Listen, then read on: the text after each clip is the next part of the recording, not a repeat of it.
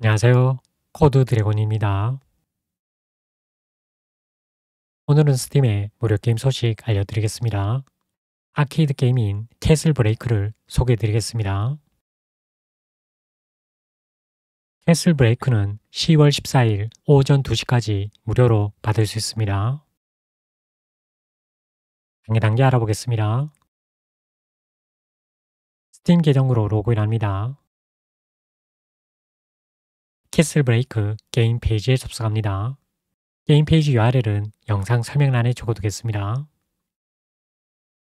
게임 페이지 조금 내려주겠습니다. 게임 페이지에서 계정에 추가 버튼 클릭합니다. 나의 계정에 캐슬 브레이크 게임이 등록되었습니다.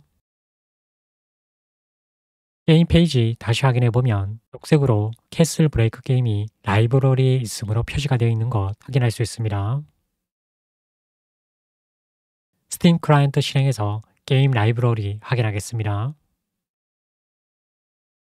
상단 라이브러리 메뉴에서 Castle Break로 검색하면 게임 페이지 확인할 수 있습니다.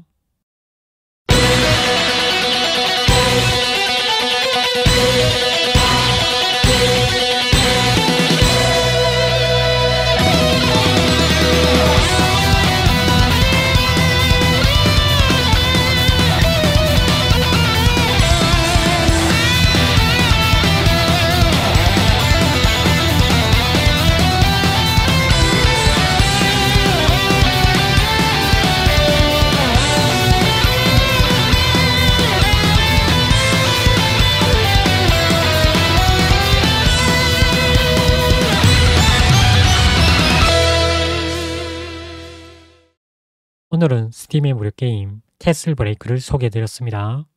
즐겁게 게임하시고 힐링하시기 바랍니다. 오늘은 여기까지 하겠습니다.